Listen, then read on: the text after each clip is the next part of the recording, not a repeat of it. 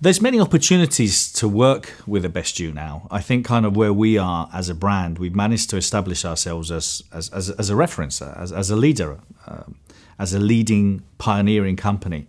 I, I used to struggle with the word visionary, but visionary means that it's just you're someone that visualizes kind of how or where you would like your company to go. So I think we're definitely leading the way in personal development, and it's taken time because that's one of the things I always say things take time. So we're into nine years now of running events and running seminars. We started with NLP and Richard Bandler, and uh, with that, we've managed to gain, apart from a massive database, great and vast experience in, in running events.